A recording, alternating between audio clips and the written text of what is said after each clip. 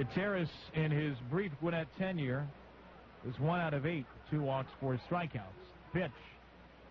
Fastball hit deep into right field. Ramsey back to the wall. It is gone.